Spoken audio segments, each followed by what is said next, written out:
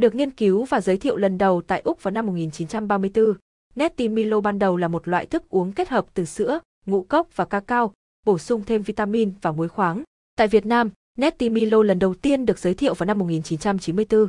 Sau 25 năm, nhãn hàng đã cung cấp hơn 10,5 tỷ hộp Milo cho trẻ em trên cả nước với nỗ lực đem đến cho trẻ em Việt Nam nguồn năng lượng và dinh dưỡng cần thiết cho trẻ năng động mỗi ngày. Bên cạnh đó, ngoài cung cấp nguồn dinh dưỡng và năng lượng cho trẻ em Việt Nam thông qua các sản phẩm của mình, Netty Milo giới thiệu nền tảng năng động Việt Nam với các hoạt động thể thao khuyến khích lối sống năng động ở trẻ. Đã có 2,5 triệu trẻ em Việt Nam được tiếp cận hoạt động thể thao do Netty Milo tổ chức hoặc tài trợ trong giai đoạn 1994 đến 2019. Sữa lúa mạch Milo hộp nhí với thể tích 115ml, khẩu phần thích hợp cho nhà vô địch nhí. Sữa lúa mạch Milo đóng vai trò quan trọng trong việc giải phóng năng lượng, tăng cường chức năng cơ và hệ xương, hỗ trợ tích cực cho các hoạt động thể chất và não bộ của trẻ.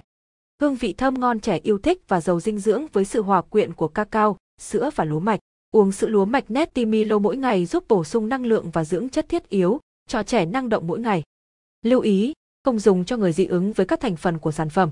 Nhu cầu khuyến nghị, sử dụng hai khẩu phần, 180ml Milo mỗi ngày cho trẻ từ 6 tuổi trở lên, không dùng cho trẻ nhỏ dưới 2 tuổi.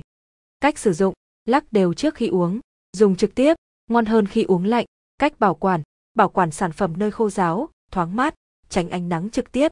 Thể tích thực 115ml